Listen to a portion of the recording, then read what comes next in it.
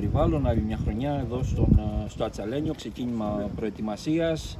Ε, το σχόλιο σου για το ξεκίνημα αυτής της ε, νέας σεζόν στον ΠΟΑ.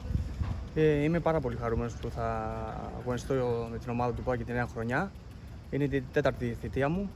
Ε, τώρα είναι η έναρξη της προετοιμασίας σε μια πολύ δύσκολη χρονιά που ακόμα δεν ξέρουμε που θα αγωνιστούμε. Ε, αυτό το που μας μένει είναι να δουλέψουμε, να προετοιμαστούμε όσο το δυνατόν καλύτερο για να είμαστε έτοιμοι για την έναρξη του πρωταθλήματος. Προέρχεστε σίγουρα από μια πολύ ιδιαίτερη σεζόν, ε, διακοπή του πρωταθλήματος. Η συνέχεια ένα μικρό πρωτάθλημα λίγων αγωνιστικών, όπου έκανε την προσπάθειά του. Σίγουρα και εσείς θέλετε να υπάρχει μια ομαλότητα. Πέρυσι ήταν δύσκολα, έτσι.